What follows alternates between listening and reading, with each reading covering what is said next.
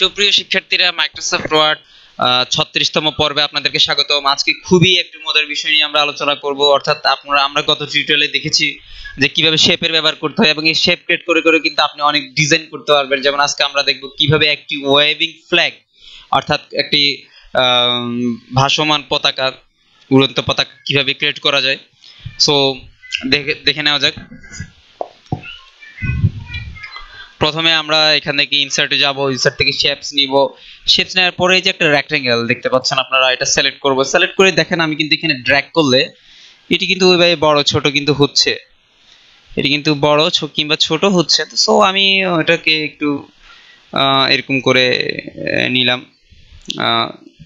নেওয়ার পরে এটিকে একটু কালার দিয়ে দিব। সো দেখি কালার কি দেওয়া যায় এখান থেকে। এই কালারটি দিব। দেন এটাকে আমরা চাইলে আরও একটু সরু করে নিতে পারি, সুন্দর দেখানোর জন্য। চাইলে এইভাবে ড্র্যাগ করে নিয়ে আসলাম। দেন আমরা ইনসার্টে আবার যাব। যাওয়ার পরে এখান থেকে শেপস নিব। শেপসে দেখুন, এখানে কিন্তু অনেকগুলো প্লটে ভাগ করে দেওয়া আছে। একটা প্লটে লেখা আছে স্টার্স এন্ড ব্যানার্স সো আমি এখান থেকে এই যে অপশনটি ওয়েব, এই অপশনটি নিব এবং এটাকে নিয়ে এভাবে সিলেক্ট করব। সো এটা কীভাবে সিলেক্ট করলাম? সিলেক্ট করার পরে এখানে বসিয়ে বসিয়ে দিলাম। দেখুন, এবং এটা যদি বাংলাদেশের ফ্ল্যাগ ক্রিয়েট করব, এটাকে একটু সবুজ কালারে করে দিব। সো সবুজ কালারে এখানে শেপ ফিল থেকে আমরা করতে পারি। সবুজ কালার এখানে মোর কালারে যাই। একদম এক্সাক্ট কালারটি নিতে পারব সবুজ। এখানে দেখতে পাচ্ছেন আমাদের সবুজ কালারটি হচ্ছে কিনা। এটা আরেকটু এখানে নিই দেন ওকে করি। সো মোটামুটি সবুজ কালার হয়ে গেলে, এবং এখানে শেপ আউটলাইনটা তো আমরা আসলে সবুজ কালারটি দিয়ে দেব। এটাকে টেনে আর একটু ড্র্যাগ করে সুন্দর মতো করে বসানো। ওকে দেন আমাদের একটা সার্কেল নিডেড সার্কেল প্রয়োজন। আমরা আবার ইনসার্ট অপশনে যাব। ইনসার্ট থেকে শেপসে একটা সার্কেল নিব। সো আমরা এখানে সার্কেল দেখতে পাচ্ছি। সো এই সার্কেলটি আমরা সেখানে ড্র্যাগ এন্ড ড্রপ করব আমাদের ইয়ার মতো করে হ্যাঁ এবং মাঝ বরাবর এটাকে বসাবো। বসিয়ে দেন আমরা এটাকে রেড কালার করে দিব। শেপ ফিল থেকে এটাকে রেড কালার করে দিলাম।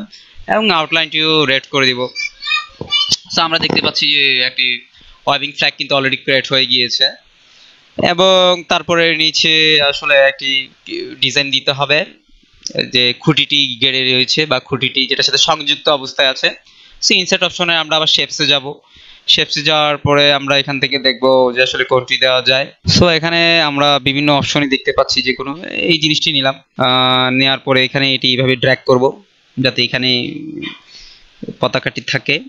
সো এইভাবে এটা এখানে রাখলাম। এবং রাখার পরে একটা জিনিস যদি দেখতে চান, তাহলে বুঝবেন যে পিছনের ইয়াটি চলে গিয়েছে, খুঁটিটি পিছনে চলে গিয়েছে। সো আমরা এখানে ক্লিক করে এখানে রাইট কি ক্লিক করে এখানে একটা জিনিস ব্রিং টু ফন্ট বা bring to forward bring to the front text ইত্যাদি জিনিস রয়েছে। সো এখান থেকে বা এখানে দেখলেন যে বিং ব্যাকওয়ার্ড বা ইত্যাদি অপশন রয়েছে। আমি এগুলো ক্লিক করলে আর অপশন রয়েছে। তো আমরা এখানে স্যান্ড বিহাইন্ড দ্য টেক্সট এটা যদি ভাবে লিখি, এটা কিন্তু পিছনে চলে গেল। সো এখানে যদি আবার স্যান্ড ব্যাকওয়ার্ড যদি স্যান্ড টু ব্যাক দিয়ে দিই অ্যান্ড আবার ক্লিক করে, বিভিন্ন জিনিস আপনি দেখবেন আসলে যেটা পিছনে চলে গিয়েছি কিনা ব্যাকওয়ার্ড দিয়ে দিলাম। এবং এই জিনিসটিকে, খুঁটিটিকে আমরা এটাকে ফরওয়ার্ড অর্থাৎ বিং টু ফ্রন্টে নিয়ে আসব। সো দেখলে বোঝা যাবে আসলে যে এটা কি ফ্রন্টে এসেছে নাকি বাইরে চলে গিয়েছে। সো এখন বোঝা যাচ্ছে যে হ্যাঁ এটি ফ্রন্টে এসেছে। সো এখন আপনারা এই জিনিসটাকে সিলেক্ট করতে হলে সবগুলো জিনিসটাকে, যেমন এগুলো আপনি কিন্তু চাইলে এখন একসাথে মুভ করতে পারবেন না। কারণ এক একটা, এক ইয়ে। যেমন আপনি যদি এটাকে মুভ করতে যান, তাহলে দেখবেন যে এটা চলে গিয়েছে, বাকি সবগুলো কিন্তু থেকে গিয়েছে আগের জায়গায়। সো এগুলো সবগুলোকে একসাথে করে নিতে হবে।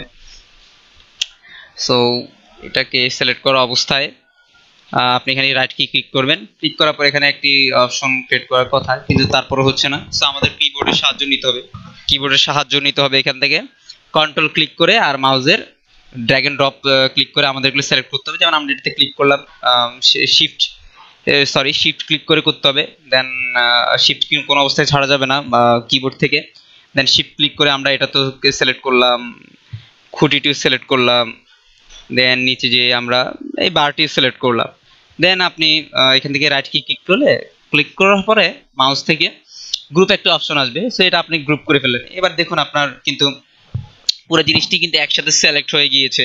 এবং আপনি কিন্তু চাইলে পুরো জিনিসটি একসাথে কিন্তু এখন ড্র্যাগ এন্ড ড্রপ বা সরাতে পারছেন মুভ করতে পারছেন, চাইলে ছোটও করতে পারছেন। সো আবার যদি আপনি এগুলোকে আলাদা করে কাজ করতে চান, তাহলে রাইট ক্লিক ক্লিক করে রাইট ক্লিক ক্লিক করে আপনি এগুলাকে আনগ্রুপ করে নিতে হবে। যেমন এখানে গ্রুপে যেয়ে যে আনগ্রুপ অপশনটি ক্লিক করলে আবার আগের মতো হয়ে যাবে। সো এই হচ্ছে মজার বিষয়।